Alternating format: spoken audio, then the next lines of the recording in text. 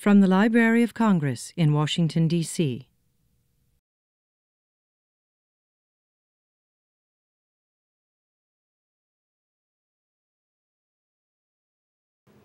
Hi, I'm Jon Scieszka, your National Ambassador of Young People's Literature. It's my final hours here.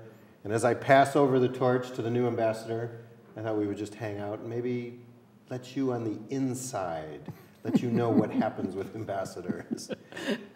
Katherine, Yes, I have the big questions now. all right. We should not show the secret handshake, but I'll, maybe I'll just ask you some questions that kids might ask you, like, Okay. where do you get your ideas?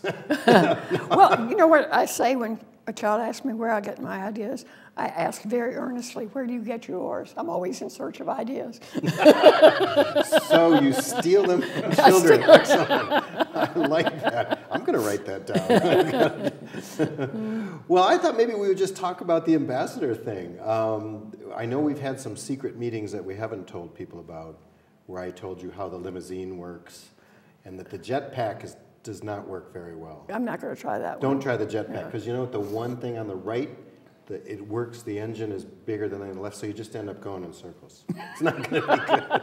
I can, I can do that without any jetpack. But I have to warn you, when, whenever you go anywhere, people are crazy about this position. They That's good it. to hear. That's good to hear. Yeah, they'll just make you crazy stuff. They'll make you sashes. They'll make you hats. They'll make you T-shirts, and you have to wear it all. Oh, So, I don't know. Do you have any questions about what you're getting yourself into here? Maybe we should start. you're with making that. me nervous, Jon. I thought it was just going to be fun. Oh, I'm sorry. Yeah, it's just going to be fun.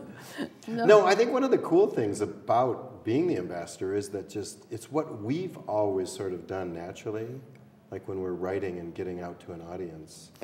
Uh, That was sort of the way I, I figured it when I was asked if I would be, if I would consider being nominated. I thought, well, that's what I've been doing for 30 years. Yeah. Uh, since you were born. Yeah, exactly.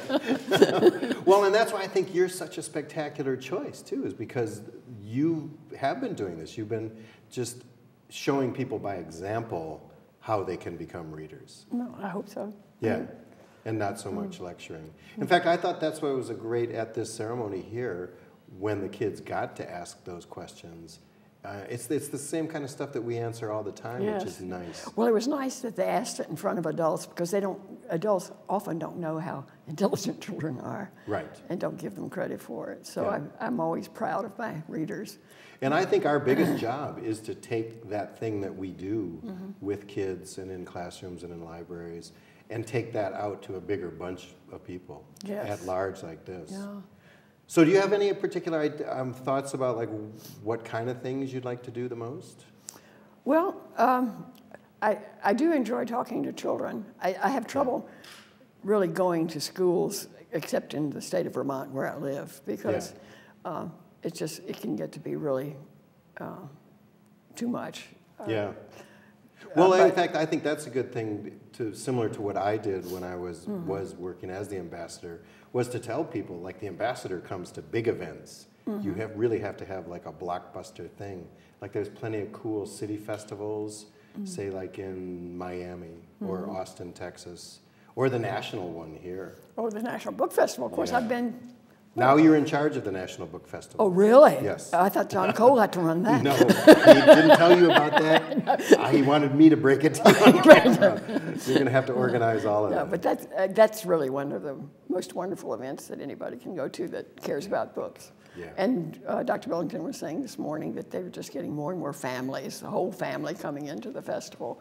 Which, Which is- makes sense, kind of the thing that you're talking about, getting kids reading within a family. Exactly. I mean, do you want to tell us any more about that? Yeah. Like Well, what your platform will be? Well, That sounds when, the, when they said I had to have a platform, I got very nervous. Yeah, yeah. See, that does sound kind of like. But you know, I just want people to read, and I want I'd love for people to read together and talk about what they've read, because I think it it changes your mind and it changes your life. Yep. Um, and your I, I mean, we need an educated citizenry, which is Yes. what Thomas Jefferson was trying to do with this library in the first place, Yep. is to. Uh, because you can't have a democracy unless you have people who are knowledgeable and Yep. who think and who uh, discuss ideas and And I think, and that is the greatest, I love that you gave that answer to that whole assembled group of kids and parents, because that answers that big question, like, well, why do we want to be readers anyhow? Yeah, Like, what yeah. difference will it make? And that is the difference. And it will make a difference. Yeah, oh. And, and always, dictators have not wanted people to read. yeah. That's, that's a real clue. This has been a presentation of the Library of Congress. Visit us at loc.gov.